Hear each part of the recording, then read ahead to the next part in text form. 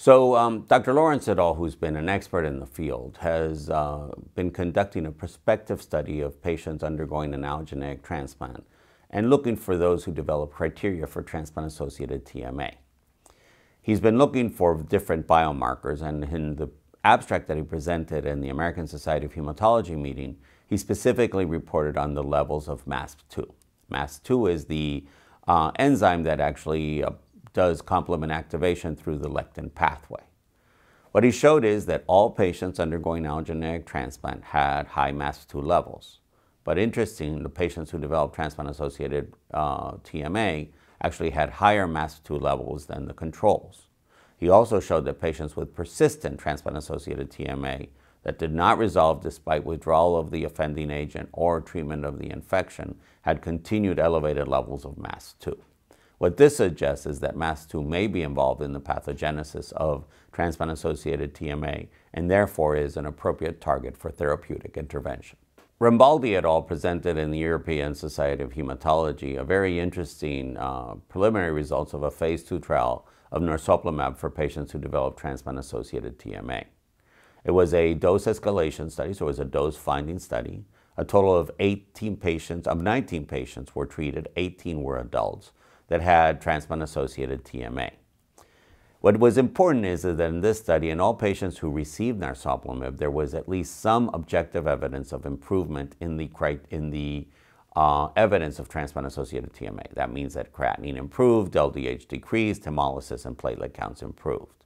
More importantly, the primary endpoint, which was 100-day survival, was significantly better for patients receiving narsoplimab versus historical controls. That's 53% versus 10%. This suggests that narsoplimab might be a very effective agent for the treatment of transplant-associated TMA or for the prevention of endothelial damage, and those are subjects of current and future studies. The inclusion criteria was to have uh, be within 30 days of transplant, have uh, criteria for transplant-associated TMA based on the standard criteria, decreased platelet counts of less than 150, doubling of creatinine, increased LDH, and presence of schistocytosis in a peripheral blood smear.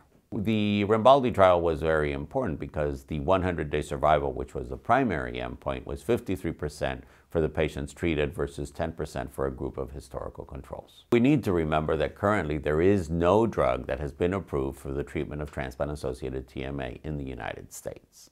The group in Cincinnati has pioneering and very effective data showing that eculizumab, which is an inhibitor of complement activation that does not go through the lectin pathway, has been effective in the treatment of transplant-associated TMA in children primarily. The results in adults have not been as promising, but again, it suggests that transplant-associated TMA in children might have more, uh, might have a different pathway than transplant-associated TMA in adults.